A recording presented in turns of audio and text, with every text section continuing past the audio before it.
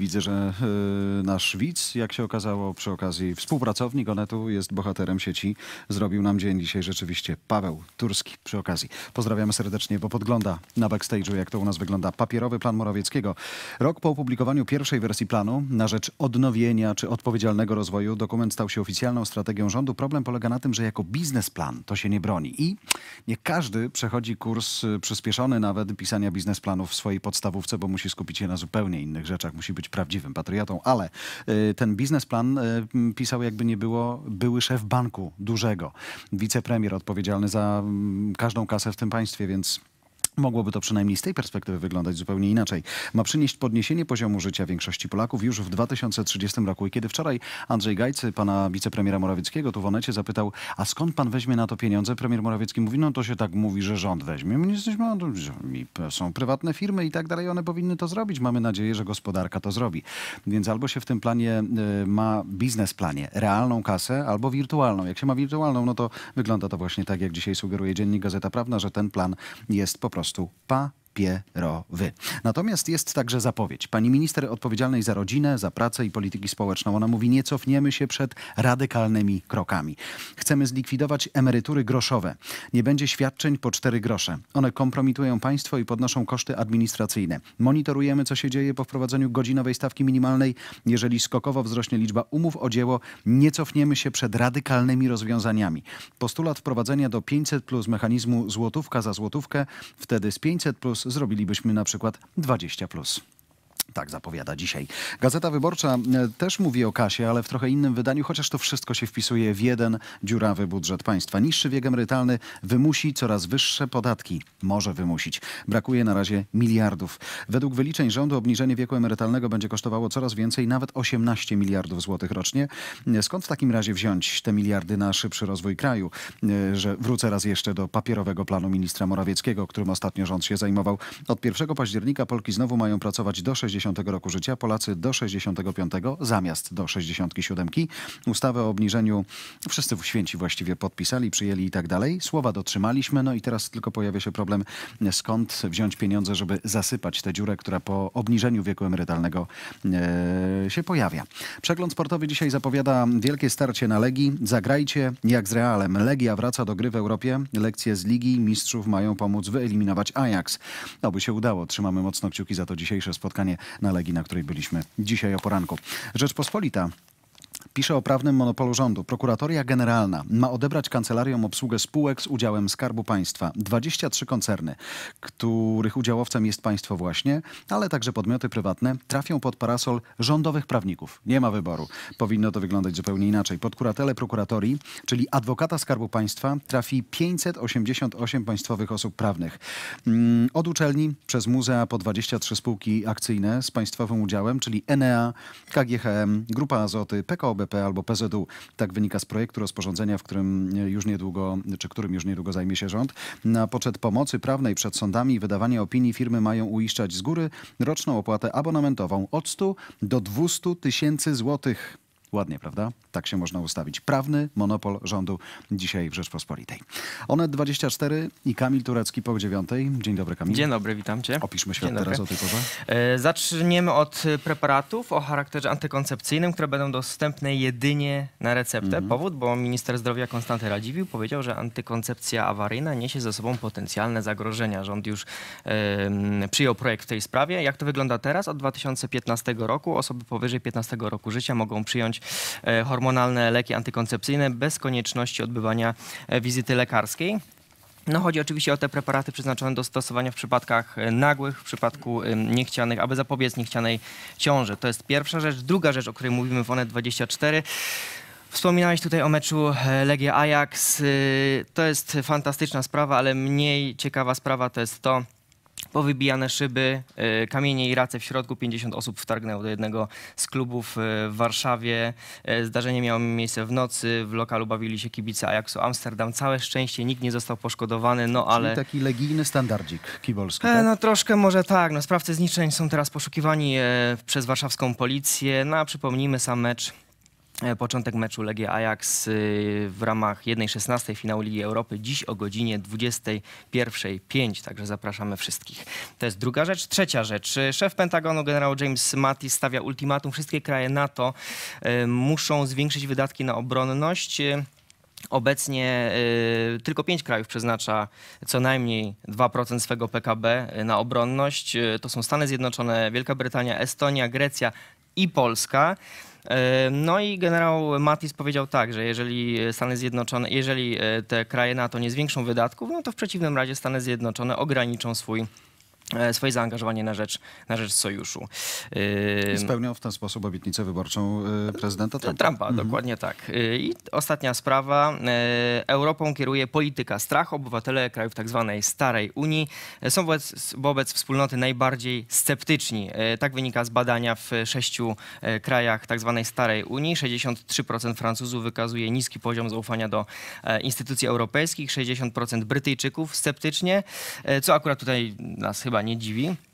E, 54% Niemców, połowa Hiszpanów, 44% Szwedów, a Polska nie jest akurat e, krajem tak zwanej starej Unii, e, 41% badanych, czyli najmniej z tych, z tych sześciu krajów. najmniej się boimy. Najmniej Czy się najmniej boimy. uważamy, że Europą kieruje strach? E, oczywiście, Oczywiście, oczywiście. żyjemy w tak no, i na, no i na sam koniec może jeszcze chwilka o tym smogu. On nie odpuszcza najgorzej No nie. jest na, na, na południu kraju, ale w sumie nie tylko na południu. E, w Kielcach, Wrocławiu, Katowicach, Krakowie, ale także, co widzimy, Warszawa, Poznań, e, Łódź.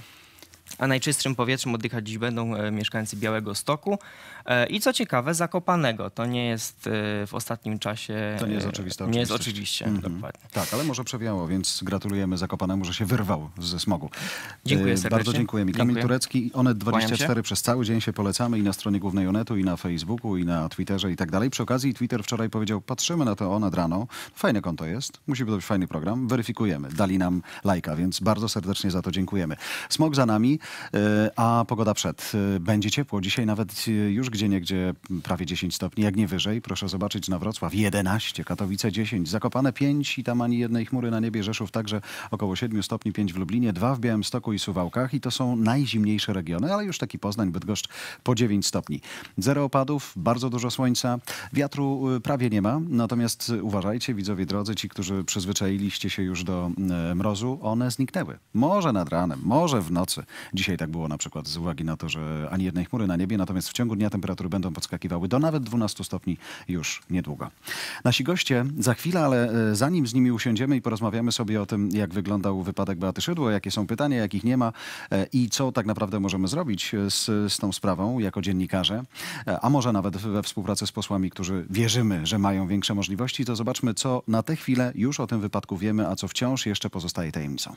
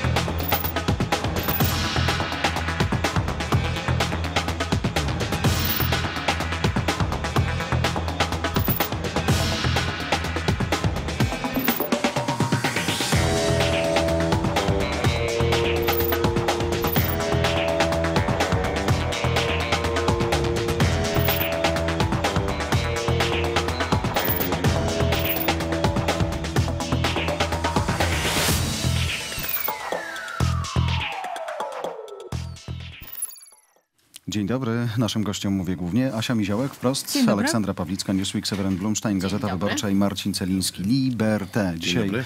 widzę, czym karmią e, Beatę Szydło w szpitalu, więc życzę jej, żeby wyszła jak najszybciej, bo nie wygląda to dobrze. Znaczy taki szpitalny standard, ale myślałem, że akurat w tym szpitalu i tacy ludzie są obsługiwani coraz e, inaczej. E, słusznie prawi prezes Jarosław Kaczyński, że każdy, kto się zamachuje i próbuje pomóc y, kierowcy Seicento, zamachuje się tak naprawdę na y, godność Polski, godność pani premier? No to jest pytanie, powiedziałbym, z, tak. z gatunku takich naprawdę spróbuj mu ciężkich. pomóc. No, nie wiem, czy to tak Spróbuj rano, mu no, pomóc, czy, to czy przed będziesz 23 można na ten, temat, e, e, na ten temat mówić. No nie, no, w ogóle ten, ten wypadek w sumie rzecz e, no, dosyć trywialna. To nam pokazuje jakiś wybuch nie, nieprawdopodobnych, podbudowanych emocjami, ale prawdziwych poglądów na państwo. No, bo jeżeli słyszę w zasadzie w nocy wypadku orzeczenie, kto jest e, winien, e, jeżeli... Ale zobacz, w zeszłym tygodniu było narzekanie, że sądy działają źle, potrzebna jest reforma nie, ale KRS-u. błyskawicznie. Nie, ale- ale to w ogóle nie bez sądu sądu, poszło. no właśnie. bez sądu poszło. Znaczy, spra- prokuratorem. znaczy, za, tak. za, zaczynamy mieć e, sytuację, w której na razie werbalnie, to trzeba przyznać, ale sprawiedliwość dopada nas bez sądu. E, i, I te sądy, bo pokazuje się, że one są zbędne. No nie, no mamy po drodze wypowiedź ministra Błaszczaka mówiąca o tym, że jak prokurator się wtrąca w taką sprawę, to, to po to, żeby zamataczyć i w ogóle zniszczyć postępowanie. zupełnie Nie, to, to, czegoś takiego naprawdę od, od wieków nie było. Zresztą we wczorajszej polityce jest znakomity materiał e, na temat, taki, taki trochę przepleceniowy na temat e, dzieci znanych adwokatów z czasów PRL-u, które się w tej chwili też są adwokatami i, i zaangażowały się w te sprawy i tak, tak trochę wspominkowo. Wtedy też adwokatom grożono i, i, i przy, Nie, ale myślę o tym pomyleniu pojęć, pomyleniu kolejności, pomyleniu funkcji, pomyleniu roli, podziału, że od zarzutów jest prokuratura, od wydawania wyroku jest sąd, że dzisiaj właściwie... Ale my w ogóle już tego nie ale, mamy, ale, tak? Ale wszystko mamy na. Nowogrodzkiej. To w ogóle nie- wyszedł prezes i przecież prezes już orzekł, y, kto jest winien w tej sprawie. Mało tego pokazał y, niestosowny proces społeczny, jaki nastąpił, a mianowicie taki, be- takie niezdyscyplinowanie obywateli. I to jest największa wina III Rzeczpospolitej i ja Dokładnie. się pod tym jestem w stanie podpisać. Ola też, Trzecia Rzeczpospolita e, strasznie e, pozbawiła nas dyscypliny. No tak, ale z drugiej strony to też jest tak, że pamiętajmy o tych poprzednich wypadkach z Macierewiczem, z Gowinem. Oni nie mogą się dzisiaj przyznać do błędu. Oni to zrobili dlatego tak szybko, znaleźli winnego, bo byłoby, no to co, my nie panujemy nad państwem, tak? Nie ma ochrony najwa- najważniejszych, no, na, nad Na samochodami, nad borem, nad wszystkim. Za czasów Platformy Obywatelskiej, tak jak mówił Borys Budka, nie było takich wypadków. Dlaczego nie dochodziło? A władza była taka pyszna, arogancka, tak się woziła tymi samochodami. No co się takiego stało, że premier Beata Szydło raptem miała taki wypadek, a tak naprawdę są też takie przesłuchy, że ten wypadek jest o wiele groźniejszy niż nam mówią Ale dzisiaj. po skutkach e, obrażeń na ciele Po skutkach pani obrażeń, Beaty, tak, dokładnie. To znaczy rzecznik rządu no, nie do końca mówi podobno całą prawdę na temat e, tego wypadku. I to też jest tak, mam wrażenie, że gdyby to nie był tak duży wypadek, no by się pojawiła na tym posiedzeniu rządu, na którym się nie od początku pojawiła. jesteśmy okłamywani. No jakie otarcia Ale powodują, no, no, że się no, kogoś ale na, powinni- na, na okłamywani? Po prostu ci do- ktoś do nie podaje szpitala, pełnej no. informacji, No, żebyś ale się nie martwił za No to też racja, jestem spokojniejszy. Ale wszystko w tej sprawie jest takie samo jak ta podwójna ciągła, która staje się ciągłą, y, która staje się linią przerywaną w telewizji publicznej, która jak wiadomo jest tubą propagandową tej władzy. Daj spokój, zakochali się w Photoshopie, wszystko, no to tylko nie no, tyle. poczekaj, no ale to znaczy, że w Photoshopie można również e, zrobić obrażenia pani premier, że w Photoshopie można e, zrobić e, serduszko, proces, owsiane ale można zrobić też proces e, każdego z nas, znaczy wszystko można photoshopować, wszystko można, e, każdą rzeczywistość można zmieniać tak, jak jest to potrzebne władzy. I to jest jakby niebezpieczne w tym wszystkim. Znaczy oczywiście wypadek należałoby wyjaśnić, co się stało, powiedzieć, a tutaj mamy wszelki, wszelka właściwie prawda, która powinna być w prostej w sumie sprawie, no bo to jest tylko wypadek samochodowy, na szczęście wszyscy przeżyli, obrażenia rozumiem są, ale no z, z życiu nikomu nie, za, nie zagraża nic, więc należałoby to po prostu wyjaśnić, a tutaj wszystko od początku do końca jest mataczone. Jeszcze coś takiego, y, y, to chyba y, y, to, y, politycy PiSu używają tego sformułowania o jazgocie opozycji. Otóż mamy do czynienia... Prezydent Andrzej Duda, Y, y, a on jest liderem Otóż, otóż mamy do neutralnym. czynienia teraz do, właśnie dokładnie z jazgotem strony rządowej. Po prostu nic nie, nie mówią, tylko krzyczą, awanturują się, obrażają po prostu, a nie można uzyskać najprostszych informacji. Ale jak myślicie, dlaczego? Jest jeszcze tak jeden element, zadajemy mnie bardzo, proste ważny. pytania. No. Jest element, który, który jest tam w tle. Mianowicie ja, ja kiedyś przeżyłem jazdę, jazdę w Paryżu na, na, w, w, w czasie zresztą y, korków y, w, w rządowym samochodzie z takim tym. To naprawdę jest upajające. To znaczy, znaczy jazda na sygnale jest takim atrybutem władzy, który na, którym naprawdę ludzie się upajają. Oni są, i to pokazuje arogancję tej ekipy, to znaczy oni bardzo lubią jeździć na sygnale. Już przykładem Macierewiczem jest, jest, jest w ogóle jakiś z, tą podróżą do Rydzyka jest y, zupełnie y, horrendalny, ale, y, ale oni to po prostu bardzo lubią, bardziej lubią niż swoi poprzednicy po prostu. W związku z tym mają częściej wypadki. Myślę o sytuacji, w której my jesteśmy dziennikarze. Zadajemy bardzo proste pytania, bo to są pytania zero-jedynkowe. Były kogo to oni, nie, a ale oni dlaczego? drwią z nas i z naszej Ale inteligencji. powiedz dlaczego. E, bo lubią, bo lubią. Ja myślę, że to jest takie samo upojenie, jak tą jazdą na sygnale. No mogę, mogę oszukać.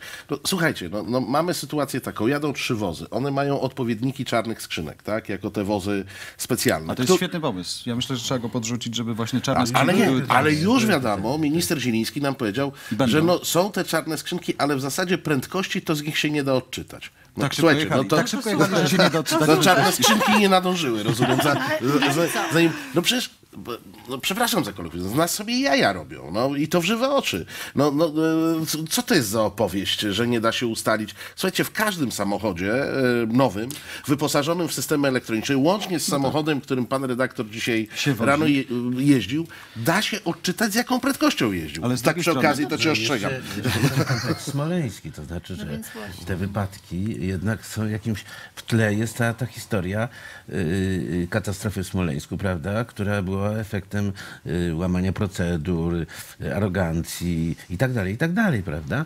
I, i, I okazuje się, że nagle, że ten obóz smoleński, który tam oskarża ich o, o zamach poprzedników swoich, po prostu y, robi wszystko, tylko jeszcze gorzej, znacznie. Prawda, teraz. Już na poziomie samochodów. No. No tak, ale jeszcze bym wróciła do tych mediów, to znaczy to, że my nie jesteśmy doinformowani. No, taką strategię ma Prawo i Sprawiedliwość. No generalnie chce odsunąć media od każdej informacji. Zrobił to w Sejmie, robi to teraz. To znaczy moim zdaniem to jest to absolutnie niewiarygodne, że my nie możemy poznać prawdy na temat wypadku premier Beaty Szydło, bo oni myślą, że tak będzie lepiej, tak? Znaczy jej stan zdrowia jest trochę ukrywany. Te wszystkie setki, które były w wiadomościach, które pokazywały, że ona idzie, że dobrze się czuje, to było tak lukrowane i mam wrażenie, że jednak źle działa na wizerunek Beaty Szydło, dlatego, że ja sobie przypomnę ten wypadek Leszka Millera. Jakoś mimo wszystko te wszystkie wypadki polityczne, które były, one były chyba lepiej rozgrywane przez PR-owców, a dzisiaj to jest chyba za bardzo kolorowe dlatego, i za bardzo wiedzieli, różowe. Jej obrażenia są poważniejsze niż nam się pokazuje w wiadomościach czy na Twitterze oficjalnym kancelarii premier, to byśmy myśleli sobie, skoro jest tak poturbowana, to zaczęli jeszcze bardziej pytać o to, jaka była prędkość i dlaczego tak wyszło. Tak, to budzi sympatię. ale- Ale, po- wszystkim ciężkie uszkodzenie ciała, że tak powiem. A co, nie chcą, żeby- żeby ją budzą pokochać? sympatię po prostu. Nie, nie, raczej by było, nie, raczej budziłby sympatię, wątpliwości, no. czy ona może sprawować swój urząd. O to chodzi. To znaczy dzisiaj PiSowi chodzi o to, że jeżeli pani ba, premier Beata Szydło jest na tyle poturbowana, to czy ona będzie mogła, będzie w stanie, tak, sprawować swój Ale to, urząd. jest, ale to jest takie radzieckie traktowanie władzy. No, ale- no niestety. proszę, to tak jak ten Breżniew, który był okazem zdrowia przez, e, przez wiele lat, tak? Na Kubie tak, też tak podobnie go, było. Tak go kręcono, tak, dokładnie, tak jak z Fidelem bardzo długo nie przyznawano się, że, że on jest... To jest jakiś nonsens. No jest państwo. Nawet jeżeli ta czwarta osobie, osoba w państwie, jaką jest pani premier wedle hierarchii, e, ci nasi goście. z jakichś przyczyn nie może pełnić funkcji, to jest przecież znakomity wicepremier Gliński, jak widać daje radę. Daje radę, E, dają jest, radę. jest wicepremier Gowin na wypadek, gdyby minister Gliński gdzieś się rozpędził być. Słuchajcie, no przecież to, to są rzeczy, no każdy ma swoje zastępstwo w tym szeregu i pytanie tylko, e, dlaczego ta władza tak kocha się w nieprawdzie? Znaczy ta władza robi na, z nas idiotów, bo słuchajcie, jeżeli ktoś widzi obrazek, jak wygląda samochód rządowy, opancerzony lub nie, bo tego też nie wiemy, jaki on tak naprawdę był, który jest po prostu do kasacji. Zmasakrowany, tak. Nie, W zderzeniu. w Polsce jest do wyklepania. Dobrze, w zderzeniu z jakimś jeździła małym fiacikiem to wiemy. No. y, i miał podobno jechać z prawie, że dobrą prędkością, no to na miły Bóg ten samochód tak nie może wyglądać. E, To mówią nawet specjaliści od crash No to- testów. Więc my widzimy jakieś obrazki, które są, e, oddają rzeczywistość i ktoś nam mówi, że to jest mucha, że to jest brzoza, że to jest mgła. Znaczy po prostu Przepraszam, nie, no, robi przed chwilą, z nas przed chwilą idiotów. minister Macierewicz najechał na Bogu ducha winnych ludzi stojących Nie, na czerwonym ale no świetle. właśnie, bo się zatrzymali na Przeszło czerwonym, śledztwo p- w gestie p- prokuratury wojskowej, okazuje się, że to jest zdarzenie i w ogóle nie będzie winnych. Oczywiście. No więc po prostu cały czas nam się mówi, jesteście frajerami i nie widzicie No tego, co rob- widzicie. No. Robim, robią z nas idiotów. Tylko no. czy z tym coś można zrobić? Bo my sobie No, możemy o musi- tym pogadać, Musimy się a tak sprzeciwiać. No niestety, no, e, to jest tak, że e, jak się jest gwałconym, to można krzyczeć, albo można siedzieć cicho. I jaka wersja jest lepsza? No moim zdaniem jednak krzyczeć i musimy krzyczeć. Znaczy, media protestują, ale nie wiadomo, jak długo będą mogły protestować. Znaczy, To to też wszystko prawda. zmierza w, w jakimś kierunku, prawda? Mhm. Jednak cały czas.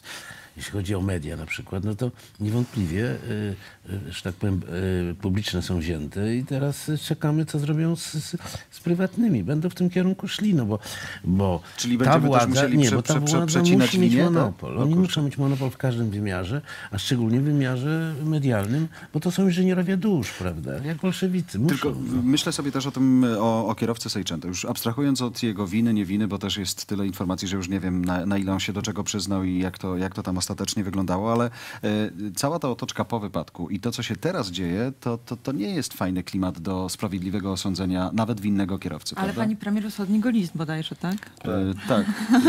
To, to na pewno I uratuje obiecała- mu życie. Będzie miał co w celi I, czytać. i, o, I obiecała, że jego sprawa będzie traktowana mm, Wyjątkowo. e, dobrze, o, w ten sposób. I że będzie osądzony zgodnie... Co znaczy dobrze? Nie, nie, słuchajcie, to nie ja, ja, ja, To ja, jest- w to, To jest bezczelność i chamstwo, że ona takie rzeczy ja w to nawet nie będę wchodził, bo to, to z gatunku zabawnych no, zdarzenie. E, szczególnie, że ten list, bo gdyby e, tu pani premier jakoś porozumiała się z tym sprawcą, nie wiem, dzień po wypadku, to w tej chwili tyle dni Ustaliła po... wersję wydarzeń. Kiedy, tak, kiedy, kiedy, kiedy no, ewentualnie, tak. No zawsze można na oświadczenie to załatwić, wiecie. mówisz, no, że Słuchajcie, zaczynasz a migać. wszystko tak naprawdę sprowadza się do tego, że ci borowcy powinni mieć po pierwsze e, dobre wynagrodzenie, żeby nie musieli szukać e, pracy dodatkowej jako ochroniarze w nocnych klubach, co się przecież zdarzało nam ostatnio, a po drugie powinni mieć niezależność od polityków. Tak samo jak pilot, który dowodzi samolotem, Ale jest po prostu Z- z nie- osobą wiesz, absolutnie Smoleńsk decyzyjną. pokazał, że pilot też Tak, no nie więc zawsze może widzisz, i wszystko. właśnie o to chodzi, Londyn, żeby a te konkretnie osoby... Luton nam O, pokazał, że prawda. jeżeli pilot jest spoza struktur rządowych, to po prostu Nie. koniec, nie Te lecę, osoby, wysiadać. Jest Słuchajcie, te uznawany za osoby, idiotę, że nie chce lecieć przeładowanym samolotem, ale Ja tylko skończę zdanie i Proszę. już się wyłączę. E, Te osoby po prostu muszą mieć niezależność od osób, którym, którym służą i których ochraniają. No, ale z drugiej strony teraz oni, e, pomysł jest taki, żeby oni mieli jeszcze więcej prawa. Myślisz, że to jest właśnie ukłon w stronę boru, żeby mogli sobie podsłuchiwać nie, nie, telefony, nie, maile to i nie tak jest, dalej? e, znaczy to jest zupełnie nie w tym kierunku idzie reforma Od i w ogóle podsłuchiwania Każda, nie każda kolejna służba, która może podsłuchiwać się przyda zawsze. No, prawda? bo już nie ale czy mamy wątpliwości, że jesteśmy Także, podsłuchiwani? także ten. Znaczy jest, jest to o tyle, że mm, jednak w ekipie PiSu brakuje kogoś, kto by rozumiał, że w dobie internetu, nie wiem, w dobie e, Onetu rano, no to się nie da tak, że jak mam telewizję publiczną, to ja ustalę swoją wersję wydarzeń.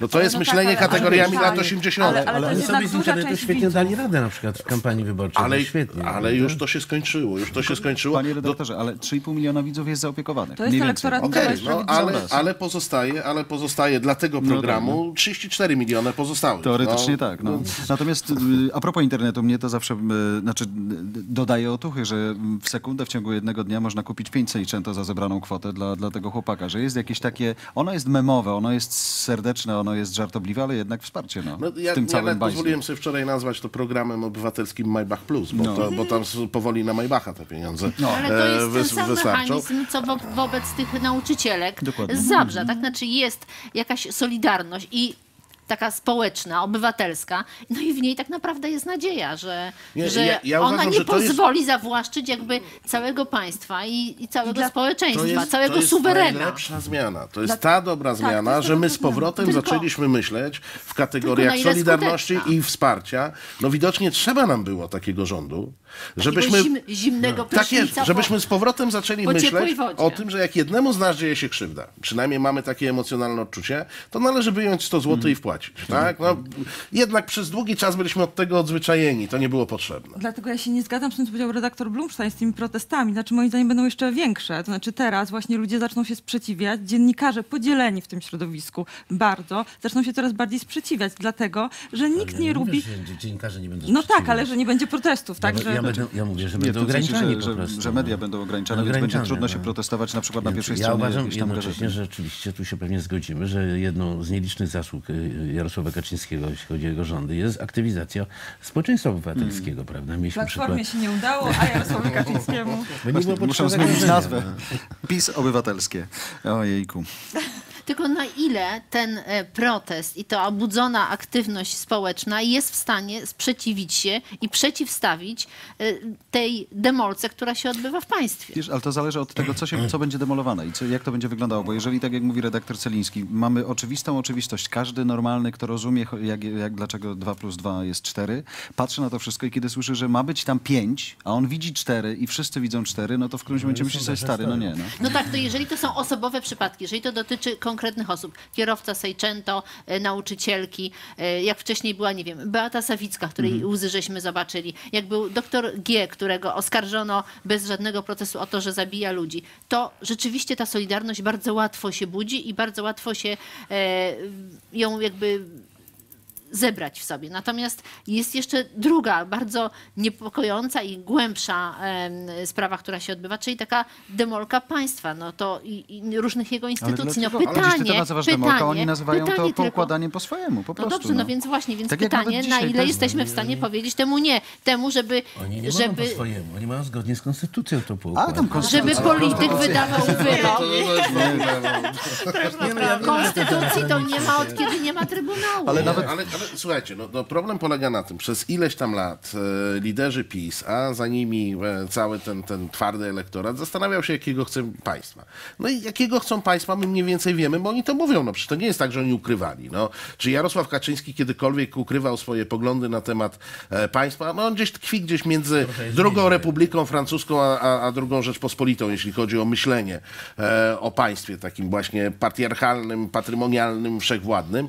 Natomiast. My w tej chwili, to znaczy ci, któ- którym do PiSu niekoniecznie jest najbliżej, mamy czas, żeby się zastanowić, jakiego my państwa chcemy. Właśnie bo myśmy sobie przez lata na to pytanie nie odpowiadali, bo wydawało się, że to wszystko idzie w jakimś dobrym kierunku. Nie, bo co się będziemy. nam się, Dobra, że ta, ta recepta jest najfajniejsza, że mamy takie wreszcie fajne państwo e, po transformacji, te takie 25 lat, fajne, nie no, ale, no, ale, okazało się, ale nie dokuczało. No. no, No znaczy, właśnie, za to jest, nie to jest dokuczało. prosta zasada, to nie jest państwo do dla obywatela, tylko to jest obywatel dla państwa. Amen. Bardzo Ci dziękuję. Aleksandra Pawlicka, Newsweek, Marcin Celiński, Liberté, Seweryn Blumstein, Gazeta Wyborcza i Anna Miziołek, Dziękuję. Wprost. Wszystkiego dobrego. Dobrego Szanowni dnia. widzowie, w imieniu całego zespołu dziękujemy za dziś i do zobaczenia.